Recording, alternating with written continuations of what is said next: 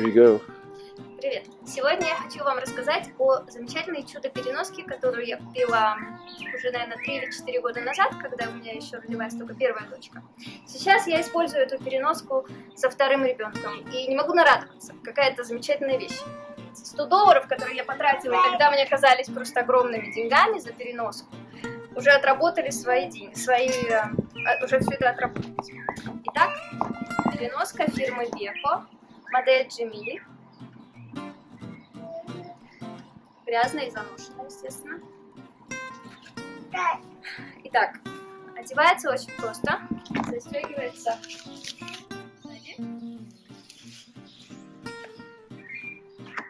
Никаких усилий, чтобы посадить туда ребенка.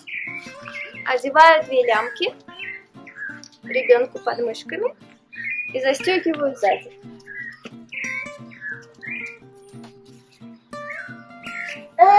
Все, мы готовы. Если нужно а, потянуть по, по размеру, сделать а, под себя, настроить, очень просто. Ослабляются ремешки одним движением. Ребенок сползает вниз. Подтягиваются точно так же. Просто тянем. Ребенок поднимается вверх, становится ближе к телу.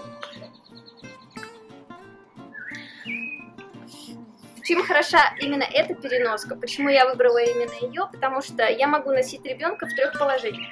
Первое – это лицом от себя, второе – лицом к себе, и третье – я могу повернуть эту переноску, одеть ее на спину, и ребенок у меня будет сидеть на спине. Сейчас я покажу, как а, сажать ребенка лицом к себе.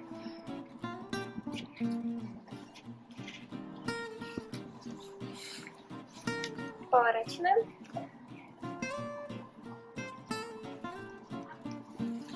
Надеваем лямки.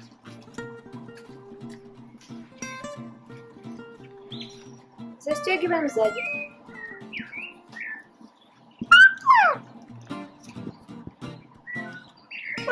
Мой ребенок а, не очень любит сидеть лицом ко мне, потому что, наверное, ей уже интересно смотреть на улицу, что происходит вокруг. Поэтому в таком положении я ношу ее очень редко.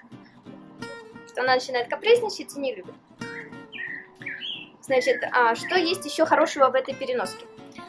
У нее, значит, ее можно сделать немножко подлиннее. Когда ребенок еще маленький и хочется закрыть его голову, можно отстегнуть вот здесь две кнопки и вот эти веревочки пристегнуть вот сюда. Очень просто и легко.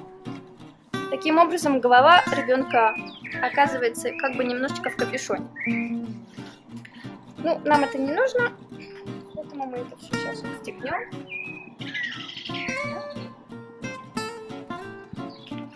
Пристегнем на место. Кроме того, считается, что когда мы носим ребенка лицом к себе, его ножки должны быть максимально разведены в суставах тазобедренных, и он должен сидеть вот в таком положении. Поэтому у этой переноски есть такая особенность, что я могу сделать сиденье пошире. Для этого я отстегиваю вот эти две кнопки и пристегиваю их вот сюда. Раз и два. Таким образом сиденье становится более широкое, ребеночек как бы провисает, его попка провисает как я сказала, в таком положении я редко ношу а, своего ребенка. В основном у меня он сидит лицом а, на улицу, поэтому у меня сиденье всегда сделано на, на узкое. Сейчас я покажу, как а, носить эту переноску на спине.